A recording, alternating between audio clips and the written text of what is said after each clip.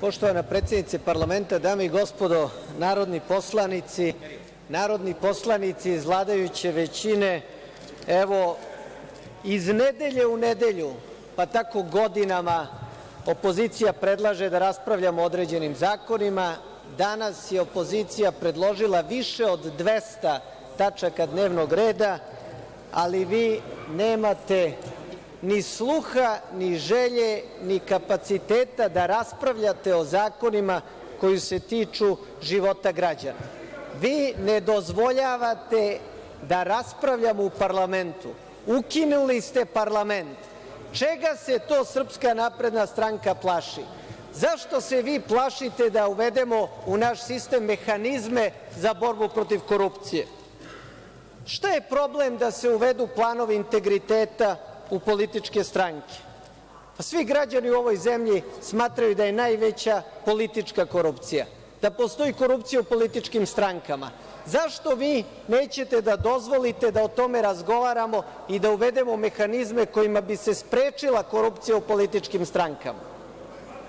Vi stasavate u političkoj stranci i posle dolazite na državnu funkciju i onda na toj državnoj funkciji kradete. Zašto tražimo planove integriteta od državnih organa, a ne od političke stranke? Kad u političkoj stranci treba da se naučimo svi etičnosti i kako se ponaša sa javnim resursima. Dakle, Srpska napredna stranka ne želi da se uvedu planovi integriteta u političku stranku, jer bi se time predupredila korupcija, a ona se odnosi na finansiranje političkih stranaka. Zašto? Zato što ste i sami priznali da zloupotrebljavate Zakon o finansiranju političkih stranaka, zato što ste sami priznali da kada jedno lice hoće više od dozvoljenog limita da donira stranci, on da drugima, pa drugi daju te pare. 17.000 njih ste imali koji su dali po 40.000 dinara na prošlim izborima za vašu kampanju. Koliko od njih je socijalnih slučajeva?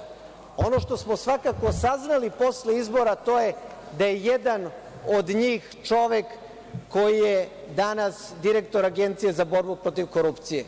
Pa da li je moguće da finansijer jedne političke stranke može da postane direktor Agencije za borbu protiv korupcije, koja treba da analizira i odobrava izveštaje političkih stranaka o trošenju sredstava? Dakle, to je način na koji se vi borite protiv korupcije ili ja bih rekao, vi ne želite da se borite protiv korupcije koja je veća nego ikada u ovoj zemlji. Stavljam na glasanje predlog.